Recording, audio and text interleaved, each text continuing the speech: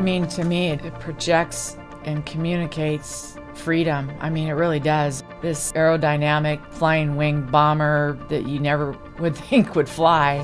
Every time I see it fly over the Rose Bowl, I see it fly out of Palmdale or Edwards or out at Whiteman Air Force Base, it just projects freedom for this nation, but also that of our allies. Just knowing the capabilities of that weapon system. And, and yes, never wanting to necessarily use it, but when we do have to use those capabilities, knowing that it's going to work right every time, protect our allies, protect our men and women in, in the Department of Defense. That's what I think about when I see a B 2.